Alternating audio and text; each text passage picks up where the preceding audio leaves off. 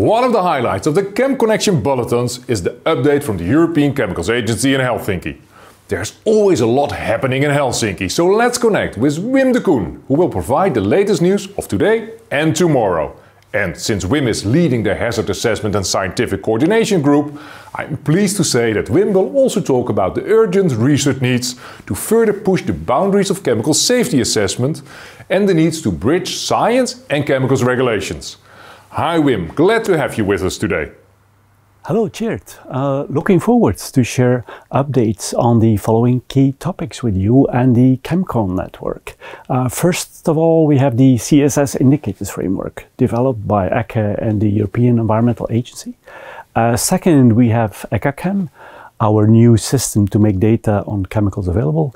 And third, as you mentioned earlier, ECHA's publication on the regulatory research needs, where we try to push boundaries of chemical safety assessments further and to bridge science to chemicals regulation. Let's start with the Chemical Strategy for Sustainability's indicator framework. What is the background of this new activity? Uh, well, as part of the European Commission's Chemical Strategy for Sustainability, uh, we are tasked together with the European Environment Agency, the EEA, and the European Commission to build a framework of indicators to measure how the EU chemicals policy is impacting the exposure of humans and environment to hazardous chemicals. How will you measure whether the EU's chemicals policy is delivering? Can you give some examples? Well, um, the indicators will cover topics such as chemical production volumes, emissions, identification and classification of substances of various levels of concern, their presence in the environment, and also aspects linked to waste, decontamination, and remediation. We will also look, for example, at the exposure information generated through human biomonitoring uh, across the EU and the overall dynamics of the EU industrial chemical markets, especially of hazardous chemicals. Interesting. What are the current status and expectations for the indicator framework and what is ECHA's role? Together with the EEA, we have identified the indicators and we will provide data for these indicators. Our role is to collect the data, refine it to our knowledge, and offer it for the policymakers to decide how to protect EU citizens and the environment. The work to build the indicators framework is getting ready and we will push, publish it uh, around mid-April together with the EEA. After the publication, the data will continue to be generated and it will be used to assess how the EU chemicals policy is delivering in real life. So, more data generation. As always, while operating chemical regulations and tasks, ECHA gathers and generates a lot of data on chemicals. Early 2024, you launched ECHAChem, the new public chemicals database. Can you tell us more about this? Uh, yes, we host one of the world's widest databases on chemicals, and we make the data that we collect under legislations that we implement available for anyone to consult on our website. By the end of last January, we published a new system to make this data available. It's called ECHAChem. Here, we already publish information from the more than 100,000 REACH registrations. In the next phase, after summer, we will launch the revised classification and labeling inventory of chemicals on ECHAChem, with information also on how authorities and companies classify substances on the EU market in a more user-friendly form. Later this year, we'll start moving also information on the regulatory activities that the European authorities are doing in relation to the chemicals. So, and also the obligations arising from these when it comes to marketing and using substances in the EU, for example, as a result of restrictions. Great to have all this information in one place. What's new compared to the old database? Um, as said, um, ECHA makes industry submitted data available as well as information generated in the EU regulatory processes. So ECHAChem is the new solution to share this growing amount of information that we host. ECHA's current information on chemicals platform, launched in 2016, has grown rapidly and it contains information on over 360,000 chemicals.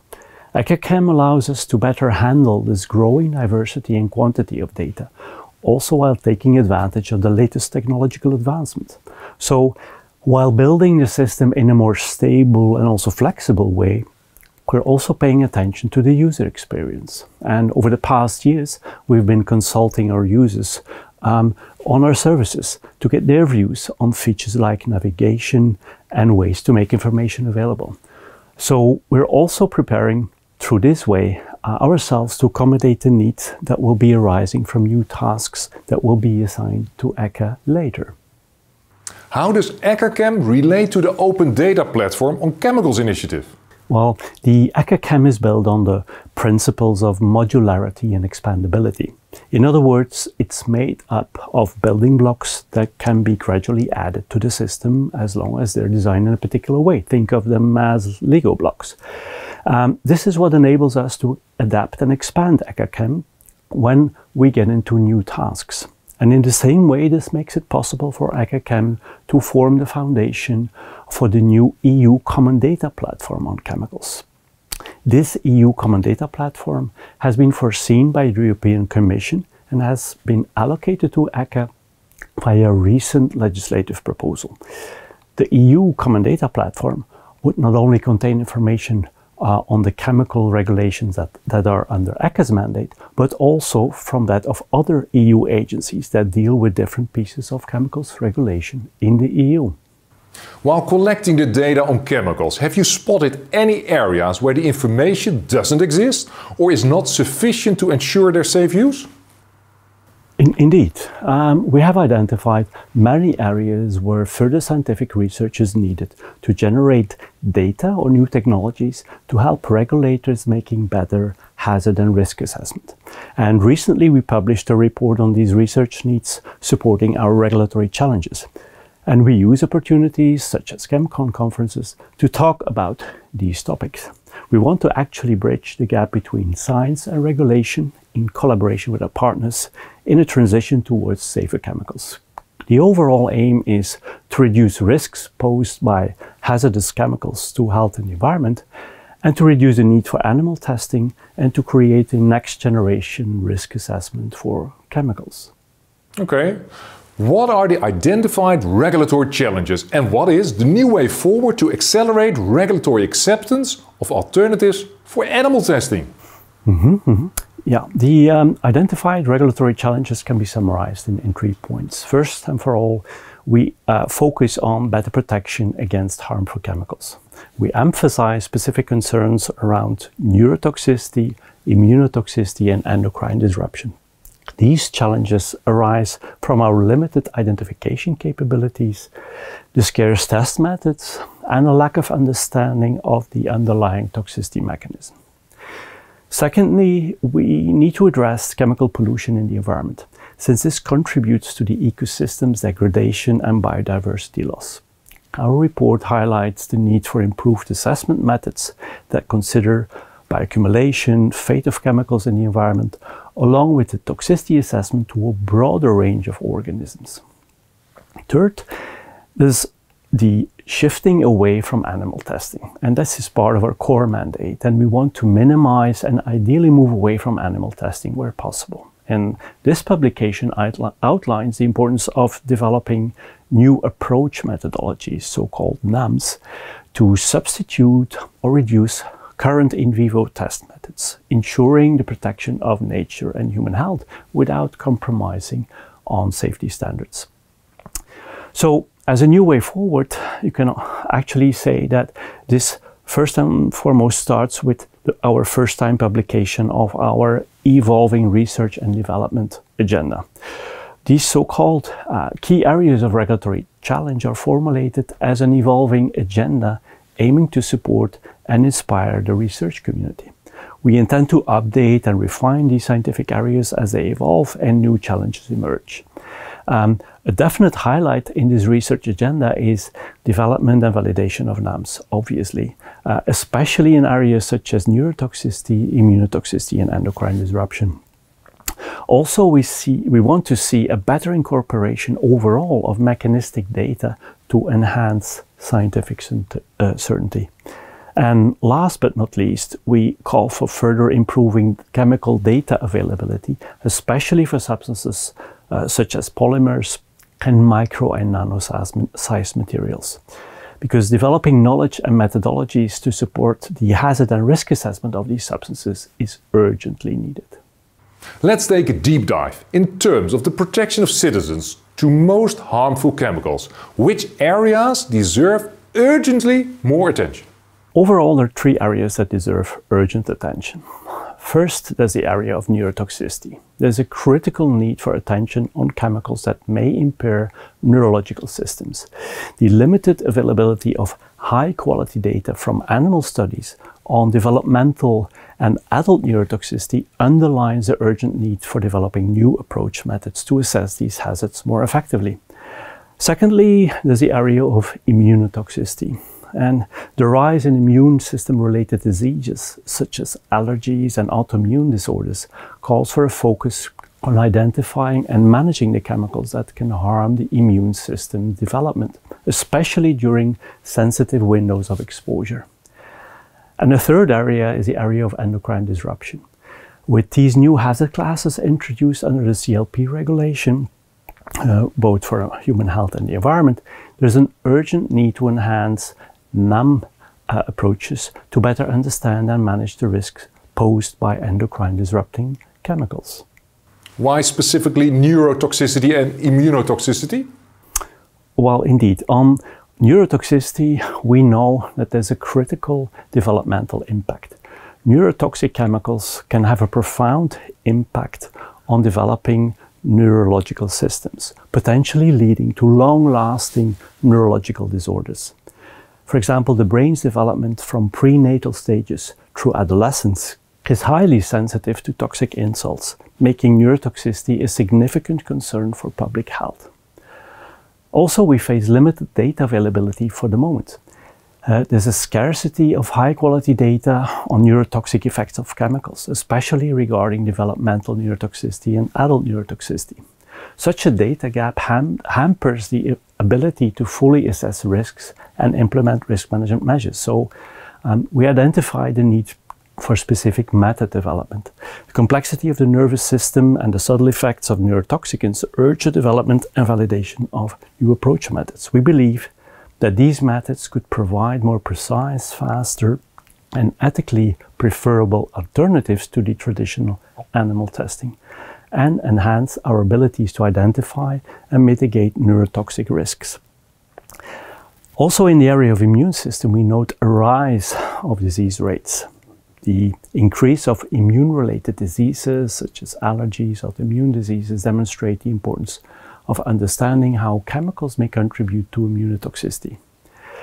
Identifying chemicals that harm the immune system uh, development or function is crucial for preventing these conditions.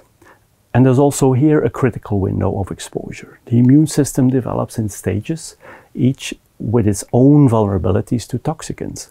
And identifying these critical windows and understanding how chemicals interact with these developing immune systems can help in developing strategies to minimize exposure during such sensitive periods. And also here is again the need for advanced testing methods. The traditional testing methods may not adequately capture the complex interactions within the immune system or the subtle ways that chemicals can induce immunotoxic effects. There's a really pressing need for advanced testing strategies that can more accurately predict immunotoxic risks, again leading to better protection for human health. The area of endocrine disruptors is still a hot topic, not only because of the new hazard classes under the CLP regulation, but also because of specific research needs where you call for action. What exactly does ECHA believe is needed in this area and does it go beyond EATS?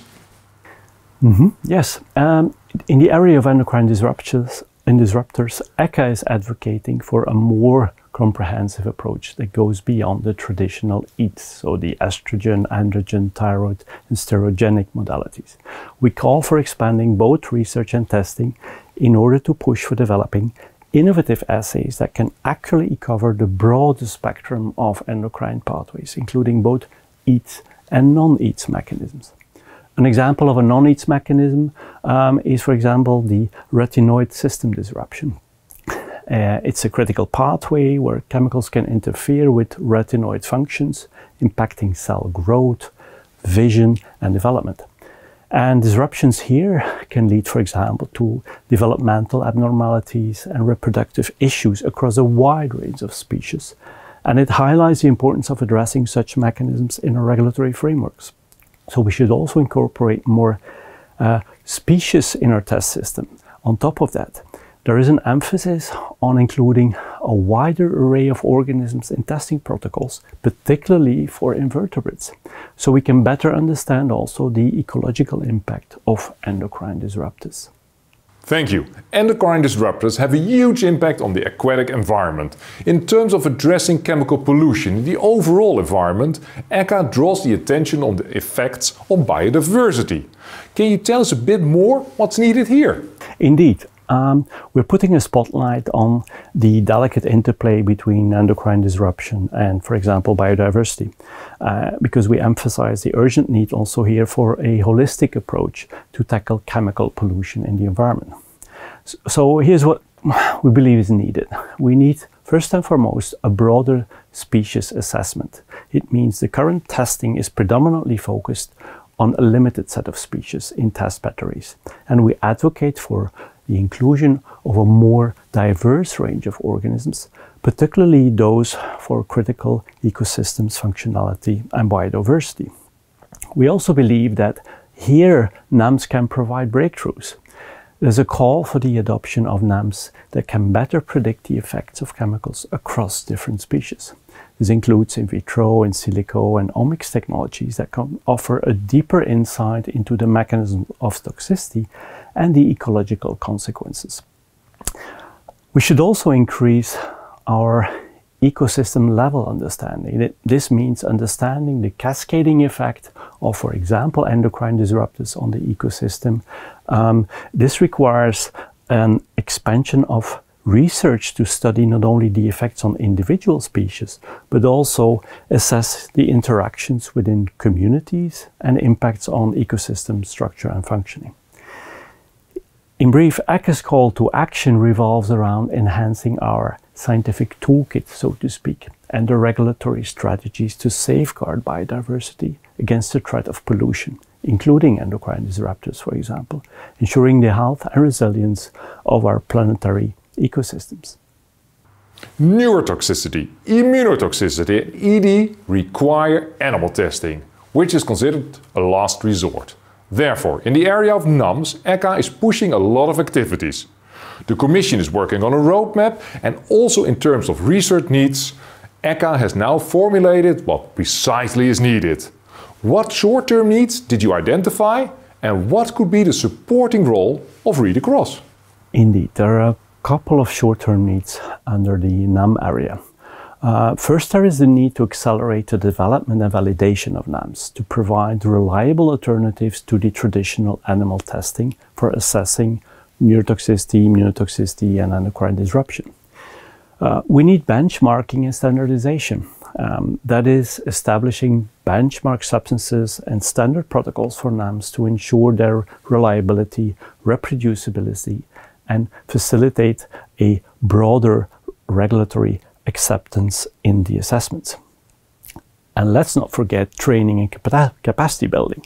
Um, we need to enhance expertise and infrastructure across regulatory bodies and research institutions to effectively implement NAMs in chemical safety evaluations. Indeed, you refer to Read Across, and in relation to Read Across, we believe that there is indeed an, uh, an overall supporting role for NAMs. Utilizing Read Across with the incorporation of mechanistic data from NAMS, we believe will provide us with a deeper understanding of the chemical toxicity pathways, and it could point to similarity in mechanisms of action, for example, and help us build stronger hypotheses when creating Read Across uh, assessments.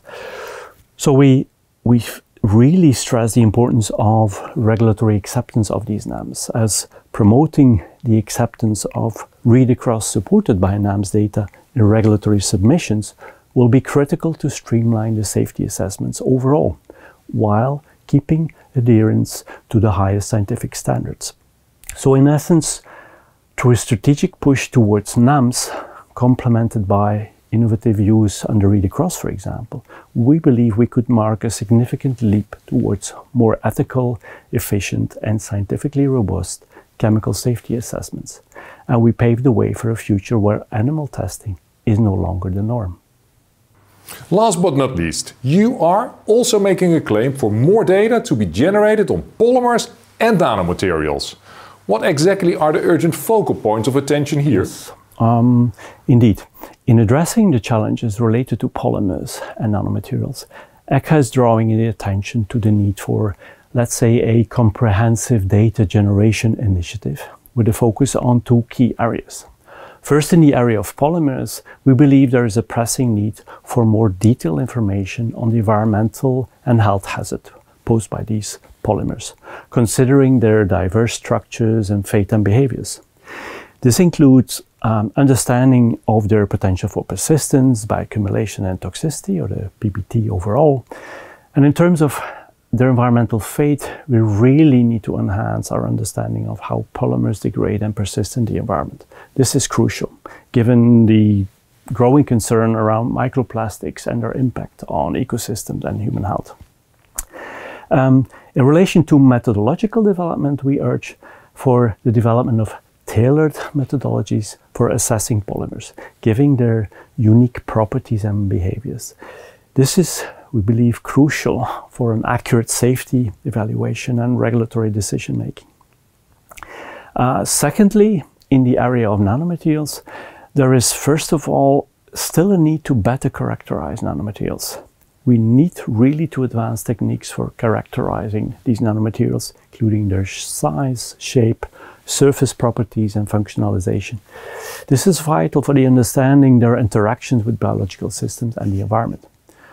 Um, on their exposure and toxicity aspect, also here we believe there's a, a critical need for data on um, exposure pathways and po potential toxicological effects of nanomaterials, considering their unique abilities to interact at the cellular and molecular uh, levels.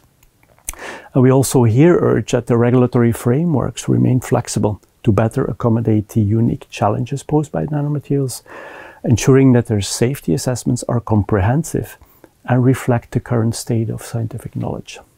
So, to summarize, ECHA's call for action really underscores the urgency of developing a robust and specific data generation uh, approach for polymers and nanomaterials because we want to address their unique challenges and ensure the safe use and the management within our ecosystems and societies. Thank you for your time and sharing this information. Looking forward to seeing Wim's ECHA colleagues in June at ChemCon Asia 2024 in Bangkok.